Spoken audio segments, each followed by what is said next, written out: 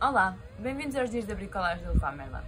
Para quem não me conhece, eu sou Joana Bianchi, sou cientista de formação, mestre de obras por diversão. Para quem me conhece, sabe que eu sou cliente super assídua da Leroy Merlin e, portanto, conseguem imaginar a minha excitação quando fui convidada para fazer um vídeo que fosse parte integrante destes Dias da Bricolagem, onde, para além destes vídeos, vão poder ver workshops da casa, bricoaulas, uh, repair cafés e até demonstrações de produto. Para além disso, eu tinha o projeto perfeito em casa. Então, eu hoje vou-vos mostrar como é que fiz esta mesinha de cabeceira com um móvel que meu pai me trouxe do lixo, sabendo que eu ia poder fazer alguma coisa com ele. Uh, todas as técnicas de que eu vos vou falar podem ser usadas em móveis que vocês queiram reparar na vossa casa, portanto, fiquem atentos e vamos lá começar. A primeira coisa que é preciso fazer é desmontar tudo, tirar os puxadores e aproveitar para colar as zonas que estiverem partidas. Depois é lixar tudo com lixa de grão de 120 ou então com lã de aço nas zonas onde não conseguirem chegar com a lixa. Na realidade, quando usam tinta de giz, não é preciso lixar os móveis. O problema é que este móvel tinha muito verniz a e então tornou-se necessário lixar para remover esses pedaços. Depois é só limpar o móvel com um pano e começar a pintar.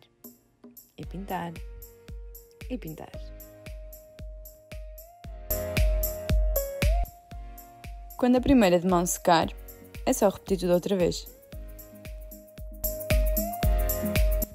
Depois do móvel secar, apliquei um tampo de contraplacado cortado à medida e protegi tudo com cera própria para tinta de giz. Esta cera seca em 10 minutos e depois é só polir com um pano. Uh, só nos falta pôr os puxadores e eu também vou colar esta cortiça que eu vou usar como revestimento puxadores são estes e é só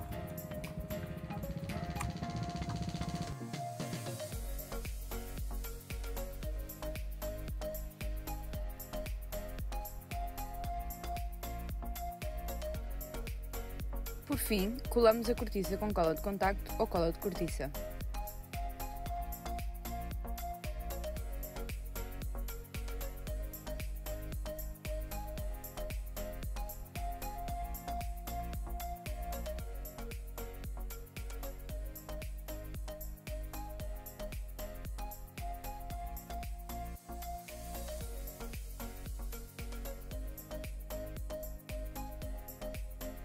And we're done! Espero que tenham gostado deste projeto e do resultado final, claro. Uh, sigam a minha página para ver que outros projetos é que eu ando a fazer e vão também ver a agenda dos dias da bricolagem do Leroy porque tem lá muito mais conteúdo com que se entreter. Obrigada!